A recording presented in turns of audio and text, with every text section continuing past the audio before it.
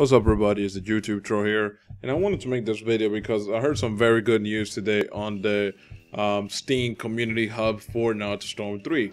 And, um, you know, the community manager said that the developers are working on a patch right now, and that he's gonna uh, release the the date of the patch, of when the patch is gonna come out, for everybody to know when, you know, they can expect to be able to play the game.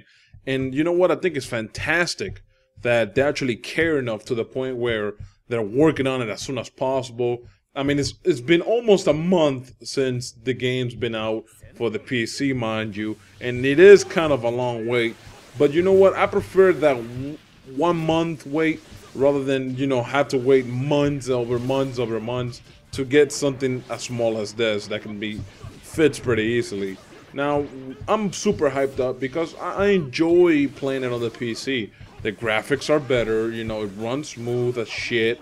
There's no frame rate issue. And it's just easy as fuck to record. I, can just plug my Elgato um, to my PC, or I can just decide to use my capture card's recording uh, program that it has built in, and I can just, you know, do that and it'd be easier.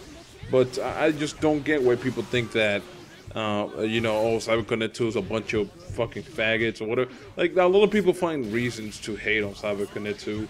And, you know, I understand because I was kind of upset uh, about the server issue, but I was mostly upset at the people that ruined it, not CyberConnect 2. Because I do understand it wasn't, you know, the developer's fault. It was rather the community's fault that that happened. So, you know what? I don't hold CyberConnect 2 accountable for it.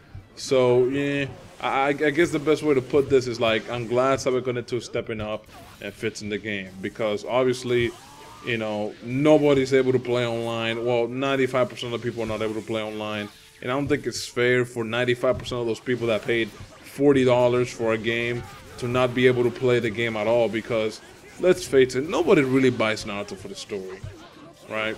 Who who buys that for the story? Nobody. So you know, it's, it's more of like uh, Call of Duty, I guess. You know how everybody buys Call of Duty for the online. So imagine if you couldn't play online on Call of Duty, you'd be pretty pissed. And it's the same thing with Naruto. So I'm kind of glad this information came out. And, uh, you know, hopefully I can play with all of you guys on the PC version. I got people telling me every day, hey, you want to play Storm 3? And I tell them no. No, because I'm not going to fucking get on to Storm 3 just so I can get disconnected from the server every fucking time. Fuck that.